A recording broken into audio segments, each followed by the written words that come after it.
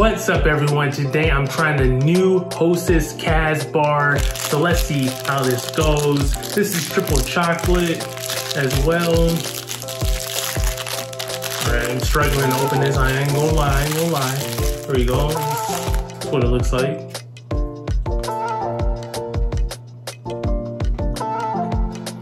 Okay.